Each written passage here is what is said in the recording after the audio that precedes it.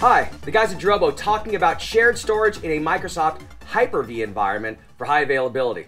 So Matt, when it comes to deploying Drobo storage in Hyper-V, what are some of the reasons why you want to go with a network storage solution? Sure. So with the uh, Drobo solution, we do support clustered shared volume. So we could go and do our hot migrations between our hypervisors for a zero downtime migration. The other is it can be the back-end storage for your traditional clusters, maybe a mm -hmm. SQL or an Exchange cluster that could either be virtual or physical, all on the same SAN.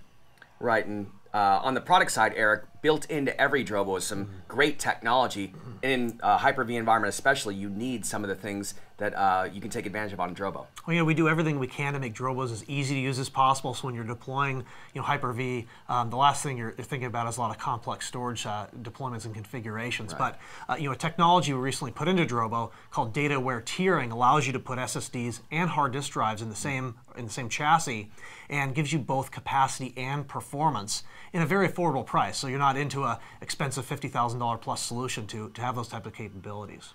I agree. And uh, in addition to having both, a lot of the folks that talk with us on live chat, it might be the first time they ever deploy a SAN. They're going from a small business server potentially or just regular old standalone servers. The shared storage piece might be new and they might think, oh, it's, it's, it's hard to do. But we, we definitely make it really easy, follow the traffic lights to do the storage part. But once you have it set up, Matt, uh, it really is super easy to deploy, right? That's correct. All right, for more information on how to deploy Drobo, uh, iSCSI storage in a Hyper-V environment. We have a detailed how-to guide on our website as well as some other resources you're want to check out. Drobo.com slash solutions for more information.